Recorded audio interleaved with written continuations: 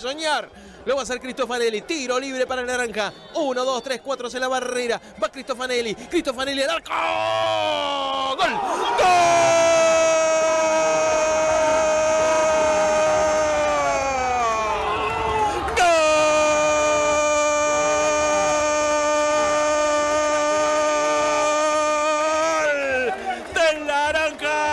Cristofanelli se le escapa la pelota a Caputo y así abre el marcador el naranja. No sé qué le pasa, no sé qué reclama finalmente Caputo.